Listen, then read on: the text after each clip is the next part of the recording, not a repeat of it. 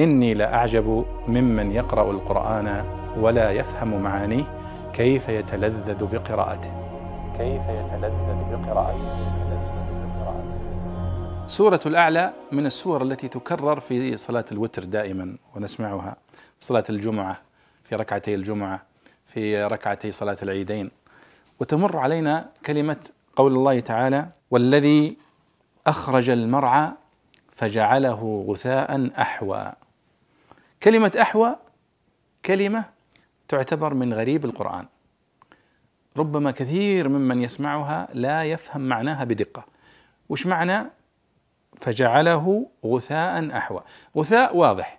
أنه أخرج المرعى سبحانه وتعالى آه، أخضر وترى الأرض مخضرة ثم تأتي عليه بعد ذلك الشمس والرياح فيتحول إلى غثاء أحوى.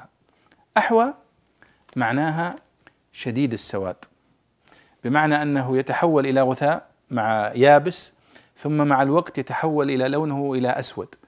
والأخضر الشديد الخضرة إلى ميل التي تميل إلى السواد يسمى أحوى والعرب يعني تصف المرأة الجميلة إذا كانت شفايفها آه، تميل إلى السواد خلقة أنها حواء.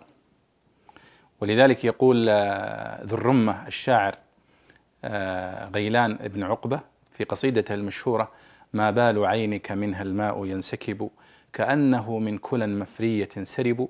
ثم يصف مي فيقول لمياء في شفتيها حوة لعس.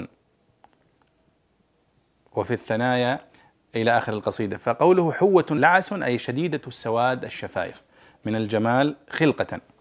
فقوله سبحانه وتعالى فجعله غثاء أحوى أي أسود شديد السواد يعني غثاء يعني هذا النبات آه الذي يتحول إلى غثاء ويتحول إلى آه يعني آه تذروه الرياح كما ذكر الله سبحانه وتعالى آه في سورة الكهف يتحول إلى غثاء أحوى يعني شديد السواد.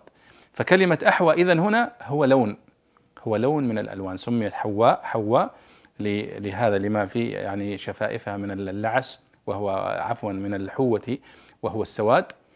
وكذلك هنا فجعله غثاء أحوى أي شديد السواد. هذه الكلمة التي تتكرر معنا دائما في صلاة التراويح ونسمعها دائما.